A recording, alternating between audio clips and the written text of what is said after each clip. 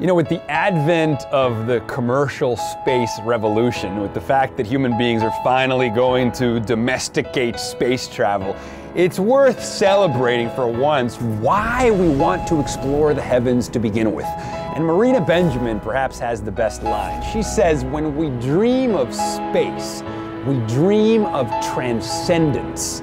We dream of what we might become the exploratory journey, that desire to break through boundaries, to probe the perimeters of possibility, to explore the adjacent possible.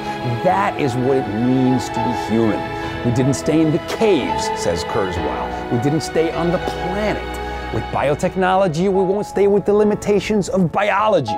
In fact, today, by leveraging exponentially emerging technologies, we're going to have computers trillions of times more powerful, navigating spaceships that are millions of times cheaper, taking us to space. Richard Branson's Virgin Galactic is going to take artists into space. What's going to happen when poets and artists look down upon the earth? What new reflections that will uplift the human spirit, that will thrust human consciousness towards the numinous might transpire? Inspire, when we keep pushing beyond all limits, when we get to Kubrick's Beyond the Infinite, the place where dreams are born through the wormhole, down the rabbit hole.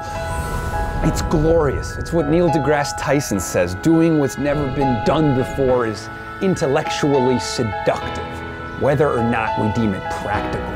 It's what we do, it's what makes us cosmic heroes cosmic revolutionaries, not stooges conscripted to advance a natural order that kills everyone. So let us go forth